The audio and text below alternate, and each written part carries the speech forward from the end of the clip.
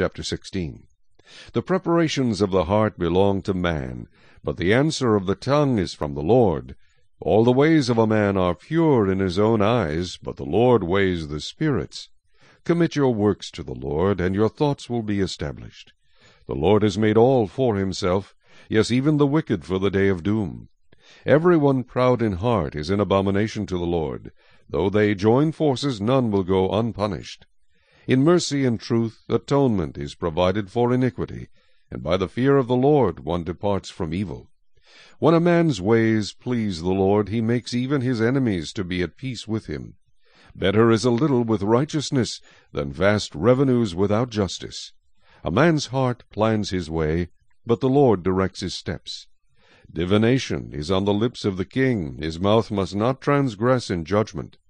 Honest weights and scales are the Lord's, all the weights in the bag are his work.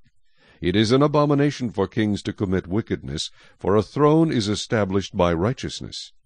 Righteous lips are the delight of kings, and they love him who speaks what is right. As messengers of death is the king's wrath, but a wise man will appease it. In the light of the king's face is life, and his favor is like a cloud of the latter rain.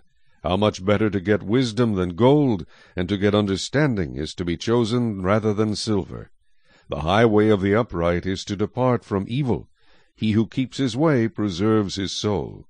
Pride goes before destruction, and a haughty spirit before a fall. Better to be of a humble spirit with the lowly, than to divide the spoil with the proud. He who heeds the word wisely will find good, and whoever trusts in the Lord, happy is he.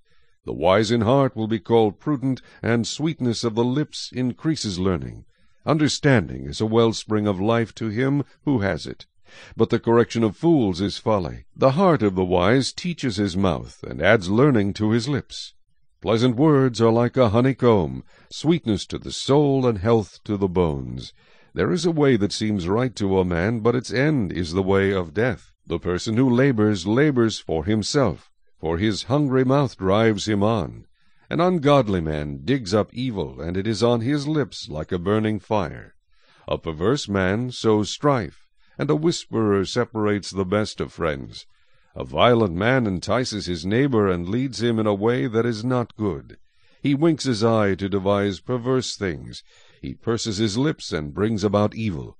The silver-haired head is a crown of glory, if it is found in the way of righteousness. He who is slow to anger is better than the mighty, and he who rules his spirit than he who takes a city.